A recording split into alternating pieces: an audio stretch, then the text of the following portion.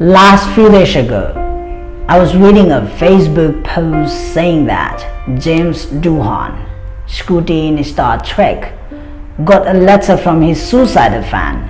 He responded to her saying that he wanted to see her in every convention in the area. He would meet her in every convention in the area and tell her positive things only. Eight years later, he got another letter from the same fan saying that because of his kindness, compassion, and encouragement, she has earned her master's degree. He answered to this. It was the best things he ever have done in life. No matter what your title is, always listen and tell positive things to others.